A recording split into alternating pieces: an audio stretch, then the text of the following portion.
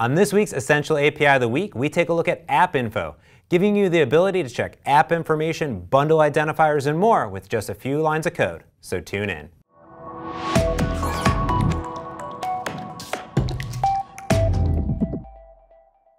Welcome back to Essential API of the Week. Today we're going to take a look at the App Info API.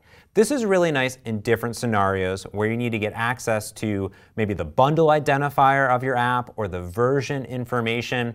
For instance, you want to create an about screen so when your users send in a bug report if they have to, they can actually tell you what build number or version number is visible without even leaving your application. Or you can report that back to your analytics server, for instance, which would be really nifty. So let's hop over and take a look at how to integrate this. So let's get started by going directly into our documentation. Now I like to go on the Get Started with Xamarin Essentials because it gives you everything you need from platform support, NuGet installation, and any additional setup that you may need, including this uh, Android setup code for permission and initialization. Now what I love though is that access to all the documentation for every API is on the left-hand side, and of course there's app info. So on app info, just like the getting started of every single API inside of Xamarin Essentials, tells you if there's any additional setup needed or how to immediately access and obtain access to those APIs. So here are some cool ones for instance. I can get access to the app name, package name, version string, and even build identifier. And I can even launch the application settings page.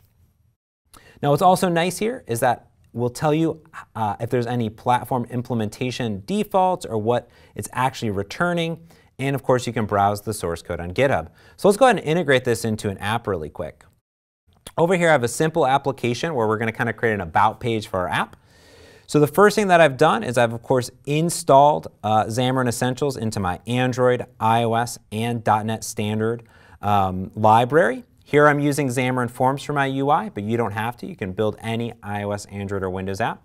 I've initialized Xamarin Essentials and also the additional setup code for Android, which is nice. Now, every single thing else that I'm going to write is inside of my shared code in this app info page. I have two labels, one for app info and version information that I may want to display to my user. And now all I need to do is set up the code behind. So over here, I'm going to come in, zoom in a little bit. I can come in and say using xamarin.essentials to get the namespace in. Now I can simply type app info as it's a single namespace for all of those and get access to all those APIs. So there's build string, name of the application, package name, version, and version string.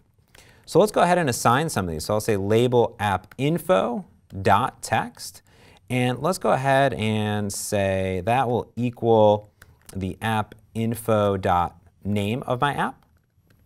And then uh, down here, we can say label version info dot text. And we'll put that out to, um, let's say app info dot version string, which is going to give me 1.0.0.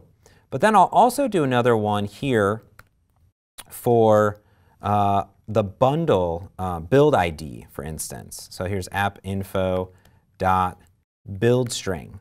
So that's unique because that's going to be auto incrementing every single time. So literally just with those few attributes, I have access to all my app info. Now what we should see is inside of iOS, these attributes are coming from my info plist, so my application name, version, and build. And for Android, that's going to come from my Android manifest file. So let's go ahead and debug this application and see what we get.